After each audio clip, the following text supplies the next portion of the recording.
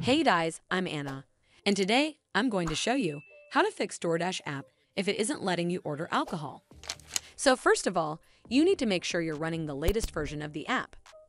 Open up App Store on your device, and then tap on this search icon in the bottom right corner. Then search for the DoorDash app, and if you see this update button right next to the app name, simply tap on it to make sure you're running the latest version of the app.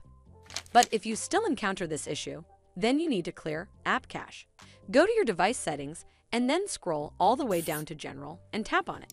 Then tap on iPhone Storage. From here, search for the DoorDash app and then tap on it. Once you're on this screen, you need to tap on Offload app. Tap again to confirm. It'll take a bit for processing, and then a reinstall button will show up. Simply tap on it to reinstall the app. This should fix the issue, but if it doesn't, then you need to completely reinstall the app. Follow the on-screen instructions to navigate all the way to the app page. Once you're on this screen, tap on Delete App to uninstall the app from your device. Once uninstalled, you need to open up App Store and then search for the DoorDash app right over here in the search bar, and then click on this Get button to install it back on your device. But if it still doesn't work, then you need to contact customer support officials. Open up DoorDash app on your mobile device and then tap on this account icon in the bottom right corner. From here, you need to scroll all the way down to the bottom and then tap on Frequently Asked Questions.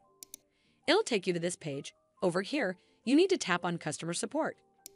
Once you're on this screen, scroll down and tap on Chat with Us in the DoorDash app.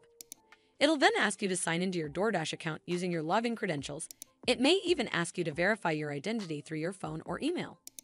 Once you're logged in, you'll be redirected to this page and a chat screen will come up. Next, Tap on Issues with DoorDash Order. And once you're connected to a customer support official, briefly explain your issue. You can type something along the lines of, I have been trying to add alcoholic beverages to my orders using the app, but I am unable to proceed with these purchases. After selecting my preferred items and proceeding to checkout, the app displays an error message that prevents me from completing the transaction for the alcohol portion of my order. Hopefully, the DoorDash app representative will help you fix DoorDash app if it isn't letting you order alcohol. I hope you found this video helpful, and if you did, make sure you give it a thumbs up to see more videos like this and don't forget to hit that subscribe button. We'll see you in the next one.